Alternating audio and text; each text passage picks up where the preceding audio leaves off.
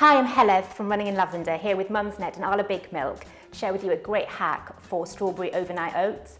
Now this is something we do all the time at home. It's healthy, it's nutritious, it's super easy. I do it the night before and I know that breakfast is ready in the morning. It's a case of putting everything in the bowl. We're going to start with half a mug of oats. Now for today's recipe we're using Arla Big Milk which is enriched with iron and vitamins which is great for kids.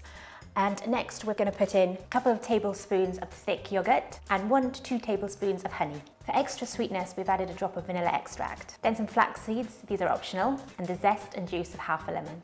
Three tablespoons of cream cheese and a handful of chopped strawberries. So now we've got everything in the bowl, we're just gonna stir it all up. At the moment, the consistency can be a little bit runny, but what I'm gonna do now is I'm gonna put them into these jars and then put them in the fridge overnight where they will thicken up. They're perfect to, to eat now or they're great on the go.